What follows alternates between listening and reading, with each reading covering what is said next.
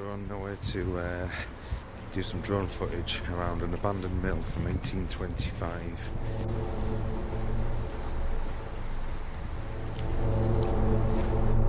Andy there in the background walking down. Um, yeah, that should be a good shoot this. To.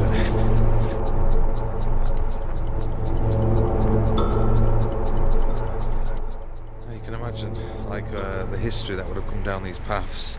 You know, I've just walked down this little path here. Look how narrow and tiny and skinny it is, and you know, all overgrown by all this. And look, obviously, where the workers would have been going into that building behind us all those years ago. How quiet everything is now.